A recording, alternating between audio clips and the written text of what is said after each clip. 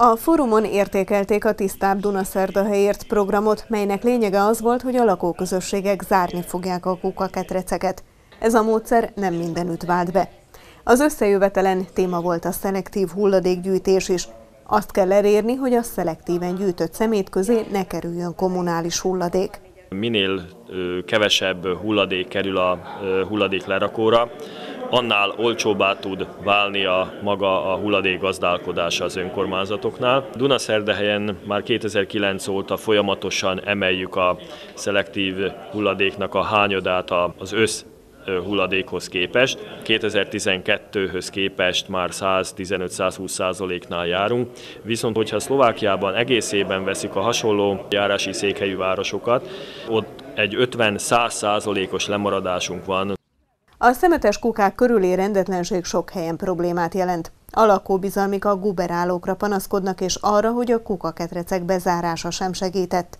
A fórumon továbbá jelezték, hogy sok helyen hiányoznak a szelektív személygyűjtésre alkalmas kukák. Zárva voltak a ketrecek.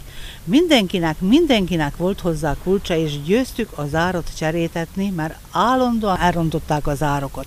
Mondjuk most mióta nyitva van, talán nincs akkora rendetlenség, mint akkor volt, mikor a zárt kukák voltak. Mert ide guberálók is este villanlámpákú járnak, és ottan kotornak, és én nem azt mondom, ha valamire szüksége van ott, vegye ki, de amit onnan kivett, zsákot, azt tegye is vissza a helyére. Van egy olyan gond, hogy jönnek Karcsai út a guverálók, ő, nekik van úgynevezett ez a tolvajkulcs, amivel úgy nyissa ki a helységet, ahogy akarja. Hiába takarítunk magunk után össze, viszont ez reggelre ugyanúgy szemét lesz. Ez egy állandó küzdelem, mondjuk egyetlen megoldás szerintem az lenne, ha csiprendszerrel működne az egész, egész ketrec, mivel csak azok a lakók jutnának be, akiknek megvan a kártyájuk. Nagy problémát jelent a városban a lakótelepi parkolás. Míg a lakótelepek megtervezésénél egy családban csak egy autó volt, ma nem ritka, hogy két-három képkocsi is van. Az önkormányzat ezért szeretné bővíteni a parkolóhelyek számát.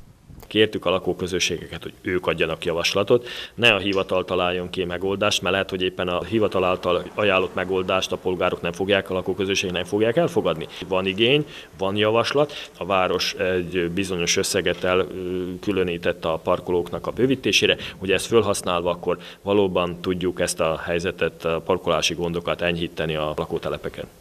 Az újfalu lakótelepen az elmúlt években folyamatosan épültek új parkolók, a parkoló hiány azonban állandó probléma. A tervek szerint itt a használaton kívüli salakos sportpálya helyén is lehet majd parkolni. 16 autónak kaptunk parkolóhelyet, nagyon is örültem neki, hogy ez megvalósult, létrejött, csak bizony az a tapasztalat, hogy még mindig nagyon kevés. Mert itt este, hogyha valaki később jött haza munkából, egyszerűen nincs hol leparkolni. Itt ez a zöld övezet ki van gyúrva, már azon keresztül járnak autók. A belvárosi Kókocsin utcában is gondot jelent a parkolók hiánya. A lakóházak között csak az ott lakók parkolhatnának, mégis sokan illetéktelenül foglalják a helyeket. A lakók ezért a városi rendőröktől gyakoribb ellenőrzést kérnek, és javaslatot tettek az új parkolók kiépítésére is. A nemzeti kisebbség, aki reggel idejön, itt kávézik, itt teszik, itt teszik, és akkor este, amit szemetet itt hannak, azt sajnos a lakóknak összeszedni. Mivel erre játszótérre itt nincs szükség, mert nincsenek olyan korú gyerekek, akik itt játszanának, inkább oldjuk meg úgy, hogy létesítsünk ide egy parkolót, hogy könnyebben tudjunk parkolni. A Városi Képviselőtestület áprilisi ülésén tárgyal a költségvetés módosításáról. Annak jóváhagyása után derül ki, hogy mekkora összeg áll majd rendelkezésre a parkolók bővítésére, azt követően pedig folyamatosan növelik a parkolóhelyek számát.